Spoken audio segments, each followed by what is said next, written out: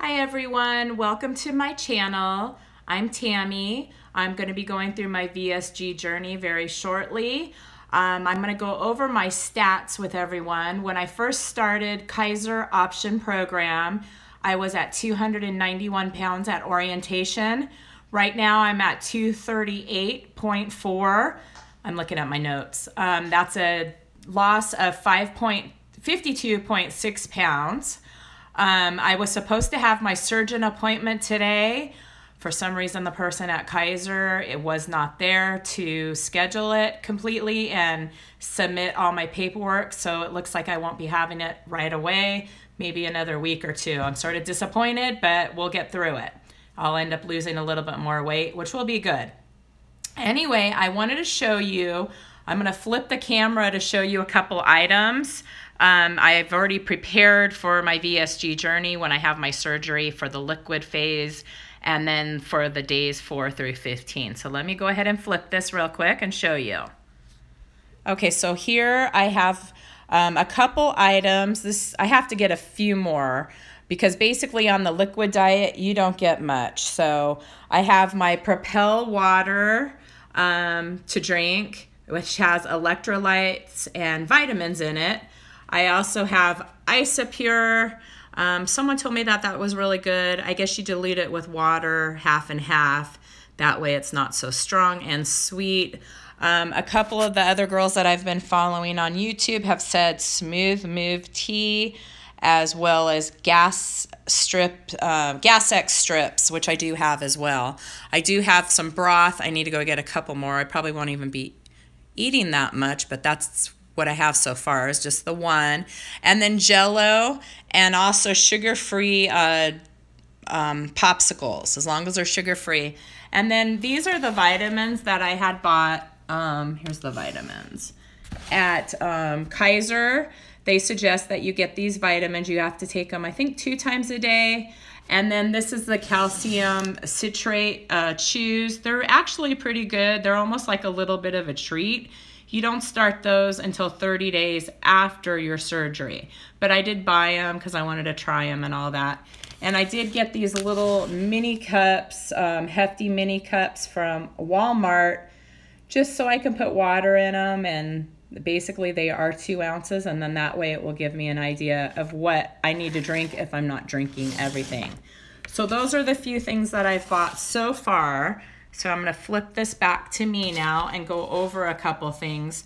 So for the zero to three days, basically um, it's just a clear liquid diet. You can have crystal light, you can have the little, add the water. They're actually, sorry, I can't even speak right now. You can add the flavored like crystal lights into water. That way it gives you a little bit of flavor and it's not just completely plain.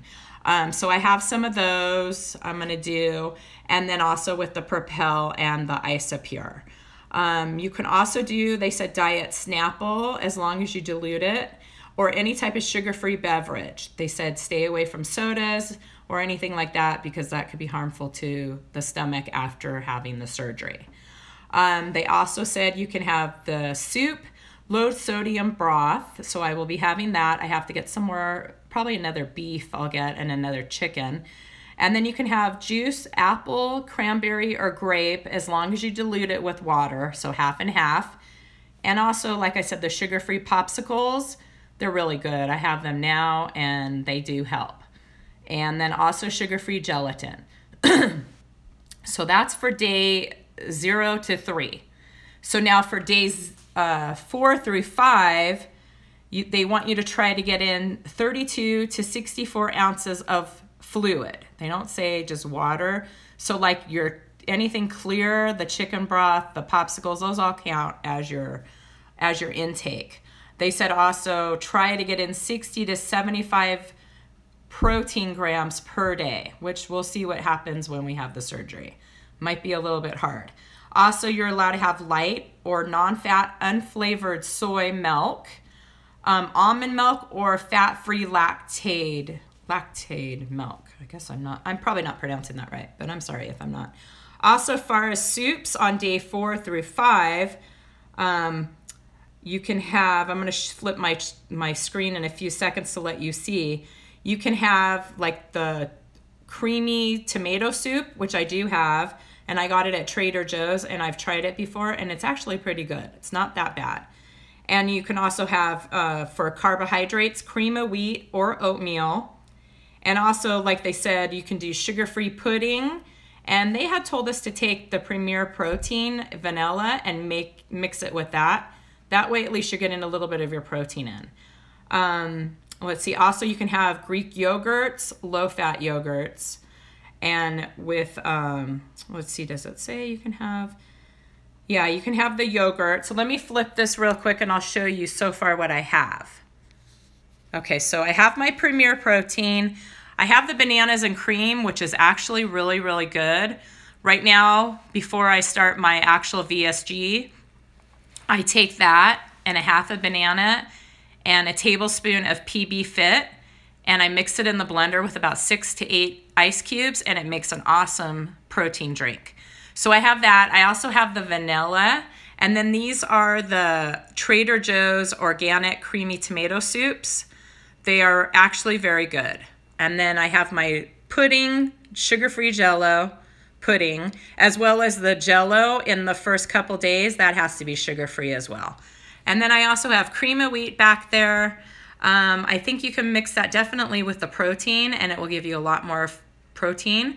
And then also the soups they told us to get were cream of chicken and cream of mushroom.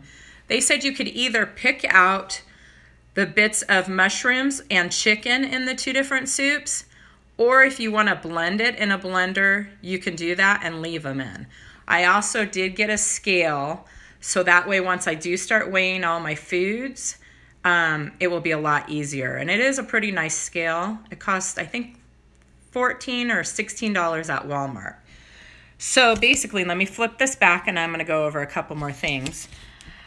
And then on day 15 to 30, that's when you can start having moist foods, which is like, yay, that's the good foods.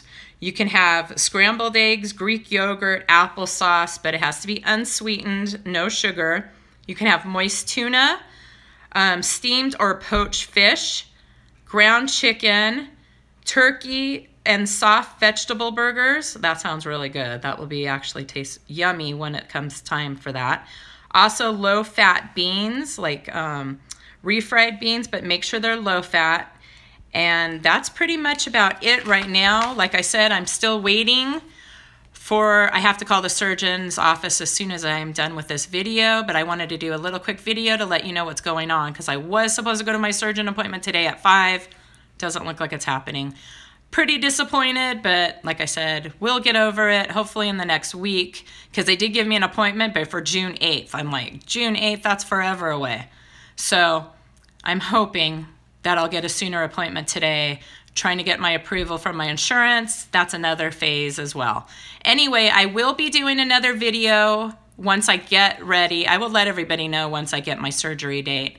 Also, I will do a video on what to pack for your hospital bag because I know that's a good idea. I know there's a whole bunch on here, but everybody's different, and I thought I would do a new one so everybody could see. Anyway, hope to see you guys all soon. Subscribe below if you want to, and I will also subscribe to your journey as well. Thank you again. Take care. Bye.